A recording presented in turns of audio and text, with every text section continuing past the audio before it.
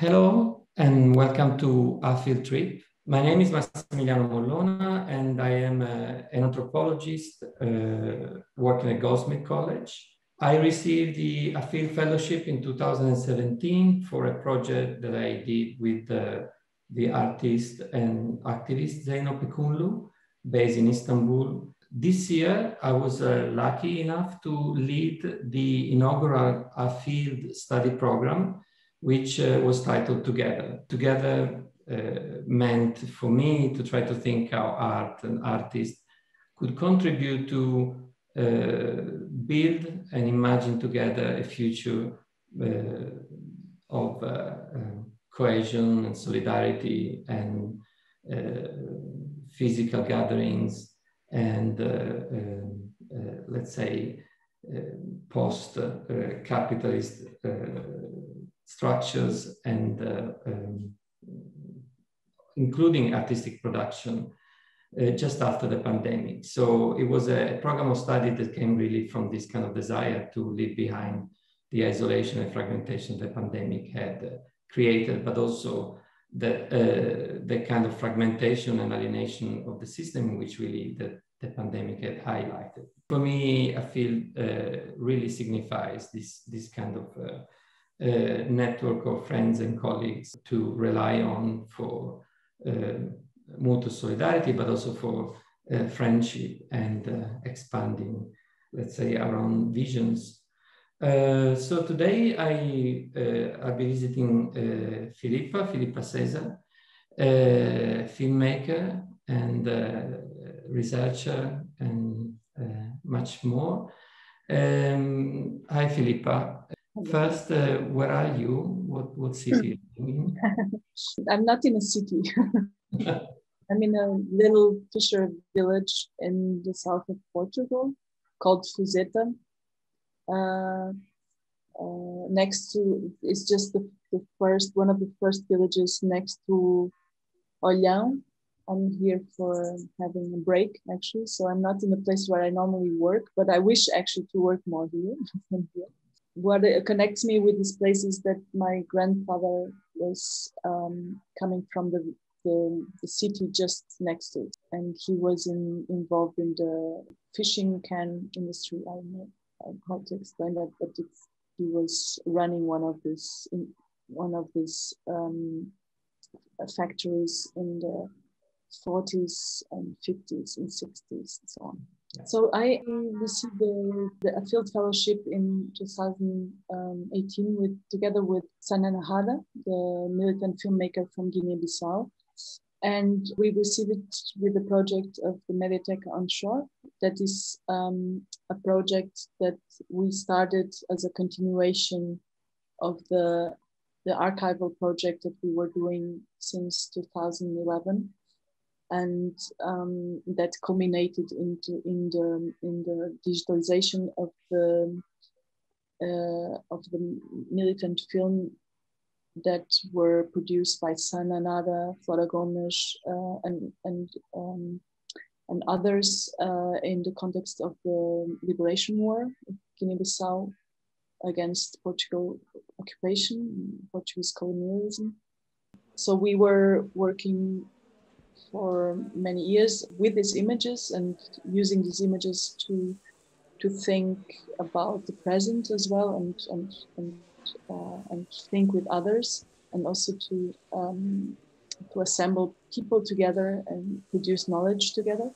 And this project culminated also in a film called Spell Reel that we did as a, as a kind of a, a journey through this through this process. And then we understood that we needed a place to not only to accommodate the archive, but to continue these practices uh, in Guinea-Bissau. The Mediateca, in a way, it's the result of something that we were finding out that we actually need. So working with the images in this kind of nomad, we made mobile cinemas uh, in many, many places in Guinea-Bissau, and we were um, understanding that this format of just going to a place, setting up a, a, a screen, and uh, and convoking people through the radio and then having this kind of like two three four hours uh, sometimes over many days sessions with the population was um, with with the images that were coming from there from you know produced in the country uh, was a very was kind of producing a moment of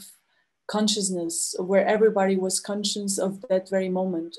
There was this sense of um, of togetherness, of sharing something that was very real, uh, and and the communication that were produced and the conversations were very um, focused on on uh, convoking the the past and and using it to think about their conditions in that very moment. I think yeah, that was something that made people very very present, you know, and maybe you know because in the daily life people are worried about you know having to find food or having to earn money or the problems at home you know but that moment made everybody think about one issue uh, together and and so we understood we wanted to create a space that that can have these kind of moments and and and then we also i mean the, the other was coming from the need because we we try to put the archive, you know, to deliver the archive, to, to restitute the archive to, to the country. And we, we encounter a lot of difficulties, you know, because uh, the Film Institute, the INCA in Bissau doesn't have the conditions to, you know, it's always in a kind of like unstable situation because it's like always mirroring the political situation. So it's always like as unstable as the as the political situation.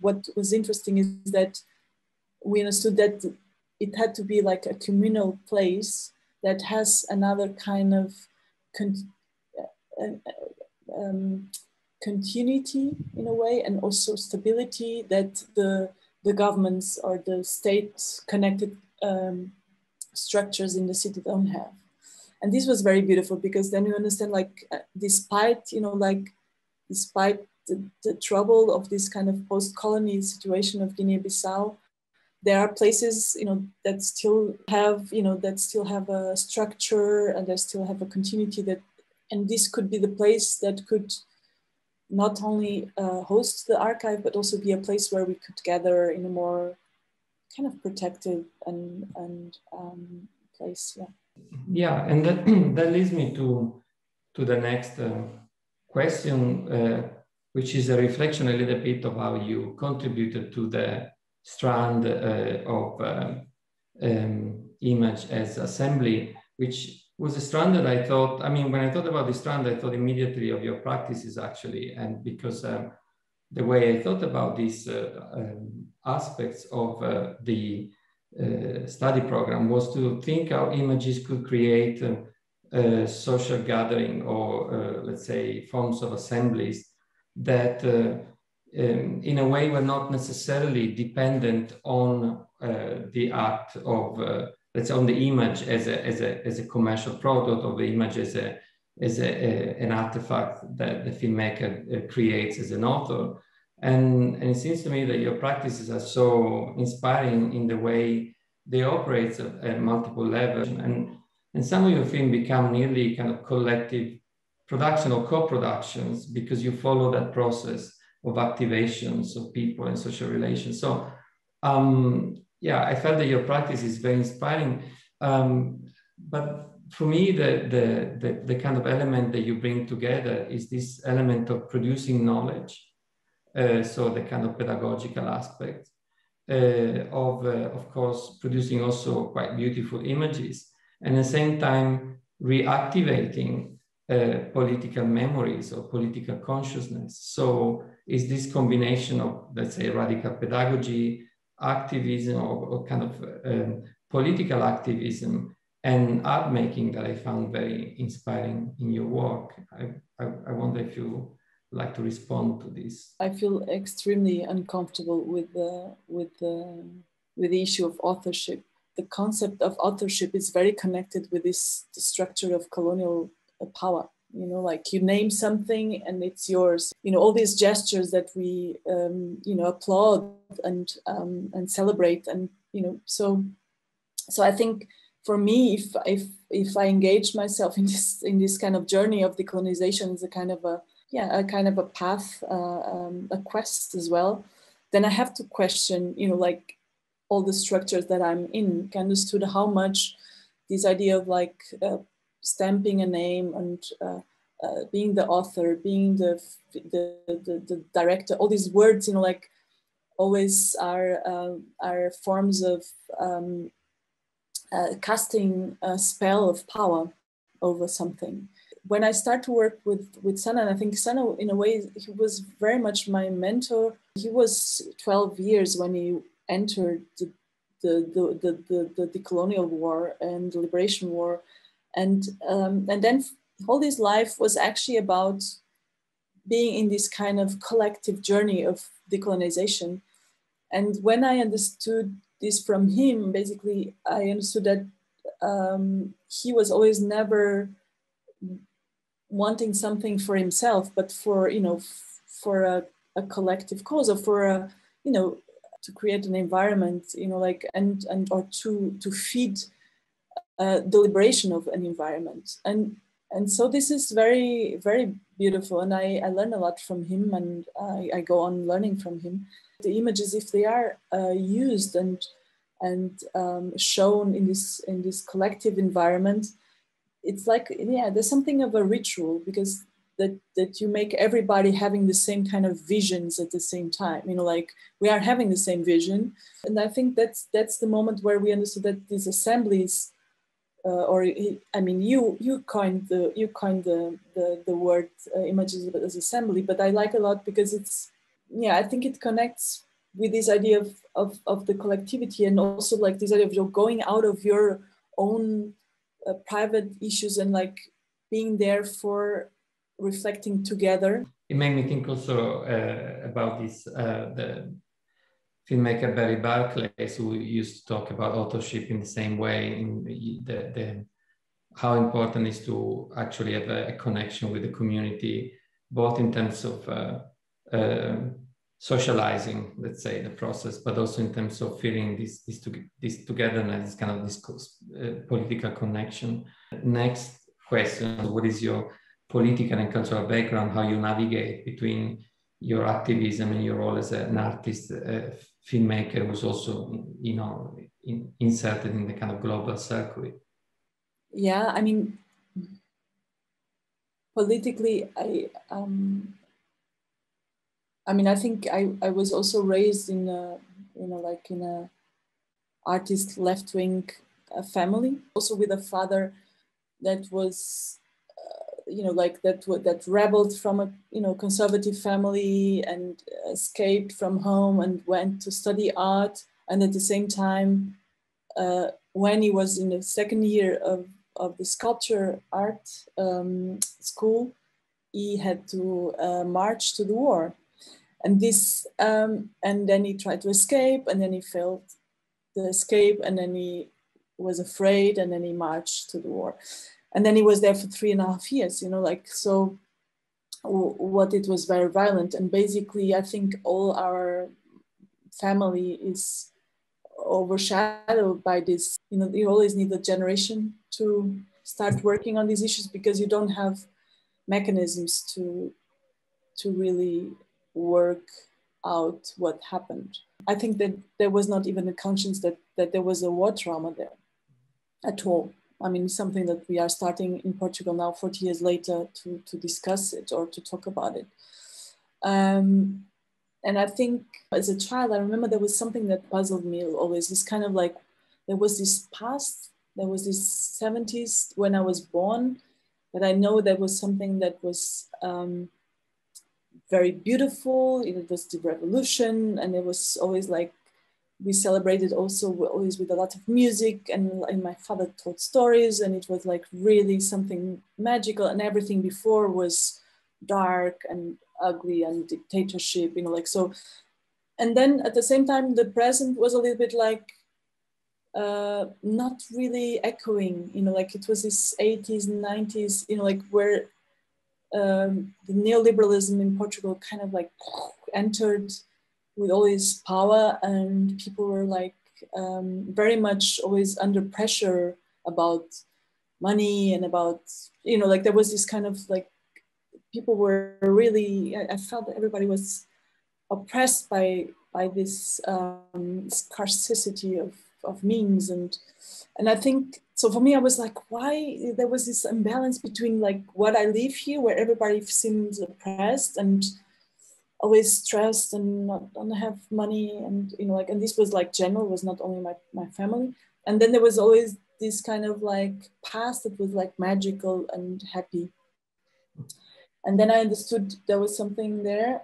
And i think that's when i in 2007 i did this film le passeur where i actually go inside all these the, the people escaping the war. And i went to this circuit of friends of my parents to know how they were organizing these passages. And this was like open up a, a really beautiful world of people getting engaged and uh, caring for each other and this underground world this smuggling world. Very creative because that's this smuggling world is always very creative. And and passionate so there's something like everybody was passionate about what they're doing and and these were actually the best friends of my fa- my parents you know so i knew them since ever so for me, and then I, so there was something there that I still think is valid today that got lost in 80s and 90s with neoliberalism and with the consumerism.